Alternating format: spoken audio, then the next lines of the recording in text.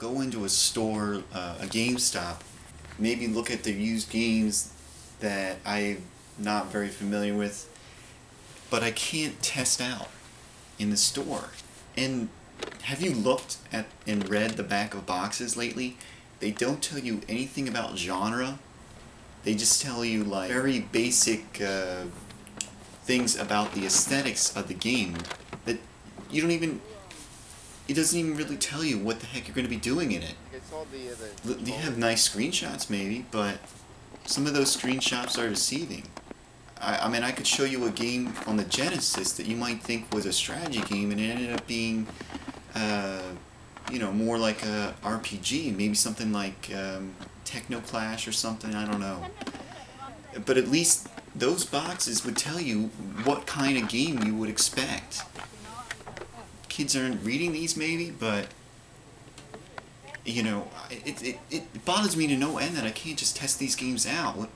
When I was younger, there used to be a, a near a grocery store.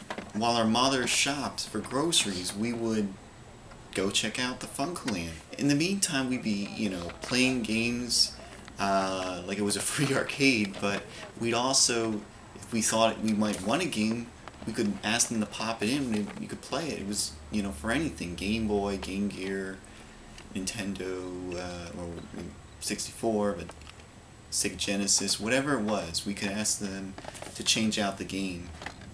The, the current system just sucks. GameStop pretty much has their demos that the, the publisher or Sony gives them, and that's the only thing they're going to play on there. There needs to be another big brick and mortar store that has the number of stores to compete because because GameStop is just not allowing kids to to try out stuff, and you didn't even know. You go into the store and you had maybe a glimpse of what was available in the magazines and maybe a commercial you saw, but you could go on the shelves and you pick out a title and you say, "This looks interesting. I'm going to try it out because I can." You know, there's a store back on the East Coast I was at last year called Play and Trade. I do think they would allow you to test stuff out in that store. They had a bunch of machines set up, but I never asked, so maybe they don't. I don't know. Either way, it there just needs to be another another major game store out there to compete with GameStop. Con- the whole consolidated system just it's not working and you know kids can't be expected to know everything about every single game they pick up on the shelf so i mean come on i mean how, how else are you going to know whether or not you're going to pop down their $25 i don't care if you're going to allow me to return it within a month or seven days or whatever the policy is. i want to test it out right there in the store. I don't want it to bring it home and decide that the game is crap. It's, especially if you're a kid and you don't have the kind of transportation or the freedom to go beyond your front yard without parental guidance. It's it, trying to getting your parents to go back because you you you just bought a game and you, you hated it. It's Can I get one with the system? you have to wait, you know, to the next time they go to grocery shopping. So it's just frustrating now the way these stores are set up. There's there's got to be a better a better store than than GameStop that needs to come along. Shooting these things out rapid fire. Welcome to the new results. And that first sale actually was on uh, Friday, very early in the morning. You know, I was looking at the listings ahead of time, and it said that this sale was going to have Nintendo cartridges. Now, the thing is, I tend not to go back to the same sales because uh, I normally ask all my questions so that I don't even have to come back to the place ever again. But you know, I had been to this place, this uh, this house before. They were selling uh, Atari games, and they had like a Sears um, telegame system. Ended up buying like Donkey Kong from them. They did have Sega games, but the neighbor across the street had taken them, and. I know the neighbor across the street because I went to their sale, I think last year sometime. But they had a Sega Nomad in the in the. Uh, I wasn't able to buy it from them because the kid who was at work actually didn't want to sell it. But as you saw in the clip, I found the Master System 2, and if there were games that went for the Master System 2, then I don't think the kid knew that that uh, you know it would be incompatible with the Genesis. So I didn't even bother, you know, asking for any information on the kid or anything like that, just because of uh, kid was probably a dumbass anyways. Um, I picked up this sucker and have mixed feelings about it. Um, I actually already have uh, Master System 2, but it's sealed and I never opened it. It was some sort of special combo deal. I showed it in one of my past um, results videos, the old results. But this time I actually have a system, a Master System 2, and I gotta say I like the fact that it's so compact, but like so many other companies, they, they take away nice features. Like, for instance, you can't play any of the slot card games, so instantly that uh, takes away the 3D games. And uh, another feature they took away is the uh, composite out. They even built in a game. I mean, it's just I think it's either like Comms or Alex Kidd. I haven't haven't tested it out yet. And even as recent as the Wii, they took out the backwards compatibility with the GameCube games. I mean, honestly, they're making these decisions to save money, but as a gamer, looking back, it just frustrates me because you know you want to get something maybe like this that you know, could could fit more readily in a tight spot, but at the same time, you're not going to be able to play all your games. I guess that's enough about that. Got the controller and uh, probably the most strained. I, have never seen a Sega power adapter like this. I almost missed these, a lot of these cables because they were sitting in a box beside everything. I, luckily I saw, I think, some like power adapter for a Game Boy in there. I picked up two of them and I picked up a DS adapter. And um, yeah, I would have missed it if I didn't see those. So. Found a uh, extreme green controller. Getting that down, folks. Extreme green. A braided uh, Nintendo composite cable. I don't know why. No, it's a regular. But the games I picked up were Doom 64 and Mickey's Speedway which is supposedly a really good Mario Kart clone. Uh, the rest of the games, they were pretty, they were all like really bad. Um, Turok was probably the, the best one out. And a Spice Orange GameCube controller, which has a a monkey sticker on it. I don't know who that is, but yeah, actually, uh, still have my Spice controller. I got rid of my GameCube. I, I kept the the orange controller for some reason. I don't know why. Yeah, all the video game stuff's out here. Um, so you had like Nintendo stuff? Okay, I see it. Just the yeah, just the console, and then there's these PlayStation uh, 2 games. Do you have any games for the um, Nintendo, or I Not see the PlayStation. for the Nintendo. Okay. For the Nintendo, what would you what would you want? Um, I'm for it. Um, but obviously there's no controller, so I, I would just pick one.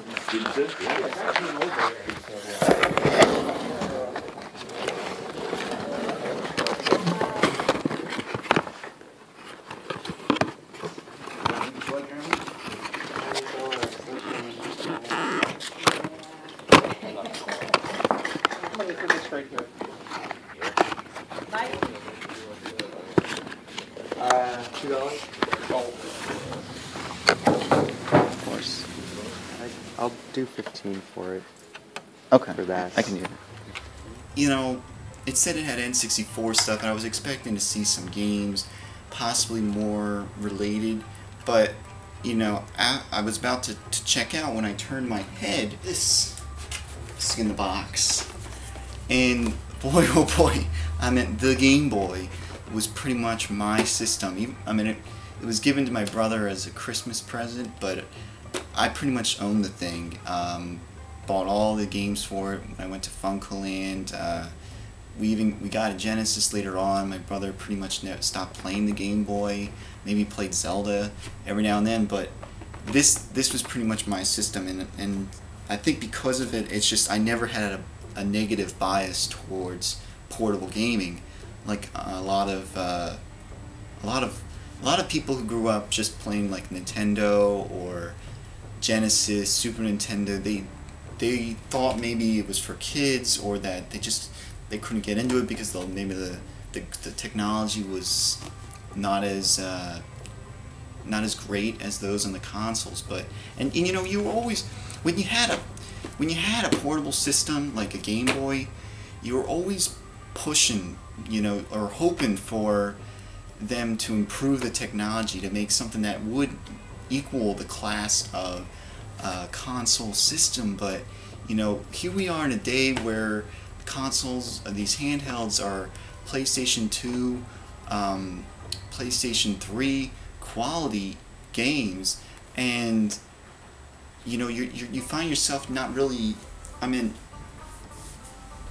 I find myself maybe a lot of adult gamers find themselves find themselves maybe going towards the old school kind of games, and I think that's where a lot of adult gamers continue their uh, their hobby with these handheld systems like PlayStation Portable and DS. You get you can get the same quality RPG game with new technology and improvements, but nothing as complicated as something you might find on a on a uh, contemporary uh, you know console that hooks up to your TV. So you can still get those quick bursts of action, but you can also get the easier to it, it's limited, but at the same time, it's just I think it's it's it fits the the the handheld well. That that kind of old school like Super Nintendo and before uh, kind of quality game. I'm gonna shut up. Let's see. I didn't see what was in the system here um, beyond like the first few cartridges, and I thought to myself, "I'll just leave it as a surprise." But I did notice, uh, and I think I may leave it in the clip, but they had Zelda, of course. Uh, I think they had a Mickey game in here. Yeah. I own this game. I was uh, really unhappy I spent my $30 uh, birthday present from um, my aunt and uncle on that. such a hard game that it pissed me off to no end that I spent 30 bucks. Eventually I beat the game, but it was only on emulator. And of course they have uh, Tetris in there. Just notice this too. Have a uh, can be glued down, but uh, let me see if this battery. It has batteries. Totally dead though. Got some other stuff in here, folks. What do we got? We got system health precautions, Tetris.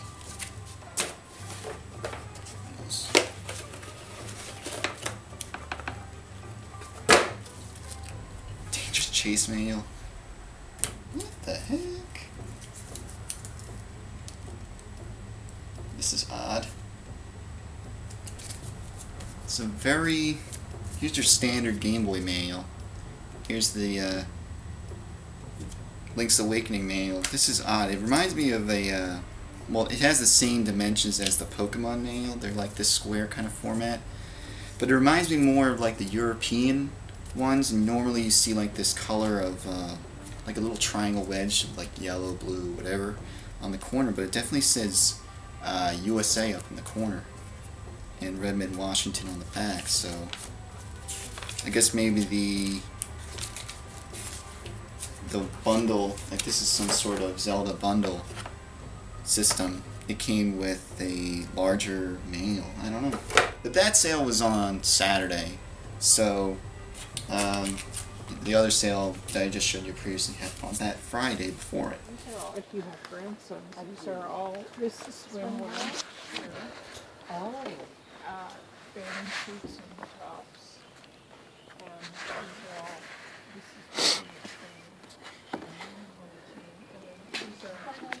And then these are- How long have you been as a Brit? How Oh, long have you been here? oh, in, in America? Oh, for Pete's sakes, uh, uh, boutique. So I started as a uh, West. Oh, did you? Oh, I, Alan, these are the entries. I don't know where we got the. They must be in that uh, console. What I say here for They're all. Would you take Nintendo maybe? games five to ten dollars. So what what do you want to price for the whole lot? Yeah. Well, you you tell me what you want to pay. Um. Well, I was hoping to pay like maybe around ten for these. Okay.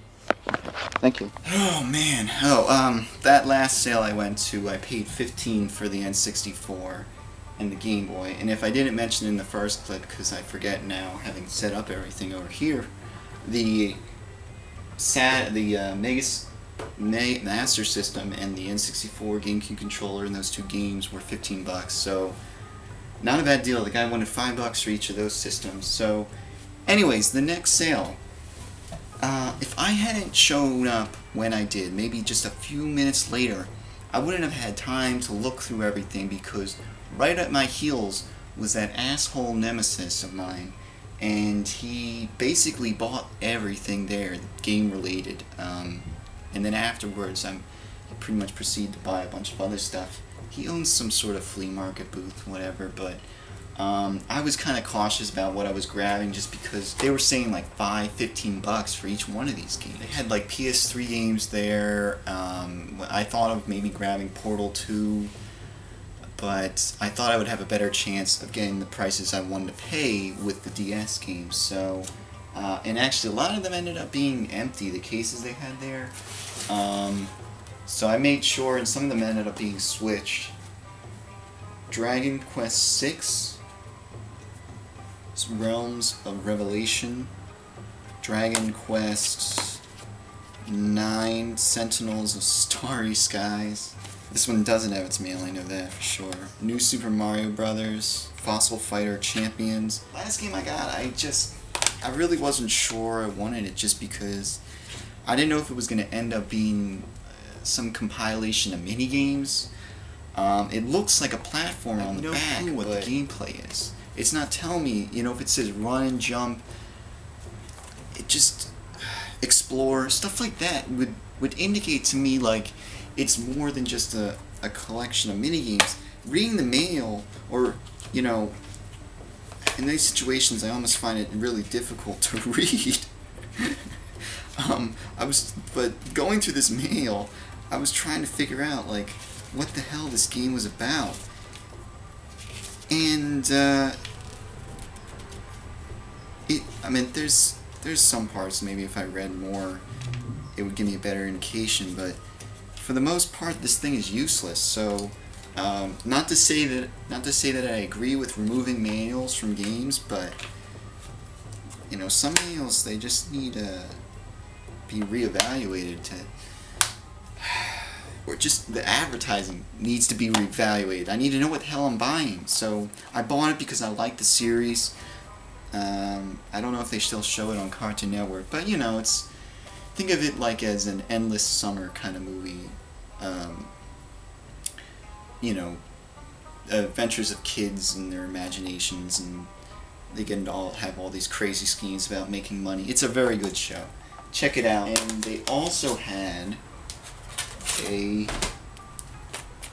brand new unopened classic controller which I I didn't I don't have one of these but um, brand new. I mean I figured why the heck not pick it up? So uh, the even though they had these prices there they didn't seem to really be so attached to it. So they said uh, you know how much do you want to pay? And that's like the best line you can ever get. But at the same time, I kind of weighed what they had, you know, the, the prices there. So I said 10 bucks, and they took it. So, I mean, that was a pretty decent haul for, for, for three days, maybe. Uh, I know there's some, some guys up uh, in Canada who I don't know how they, how, they, how they can pick up so much. I have nothing to complain about. It's all good. It's all good. So, I hope you guys had uh, some great garage sale events as well. But, yeah, it's out there. Now go get it.